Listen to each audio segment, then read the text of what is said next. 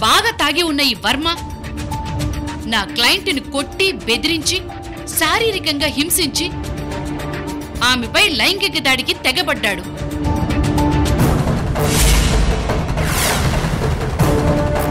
వర్మగారిని ఆ దేవుడు కూడా రక్షించలేడు.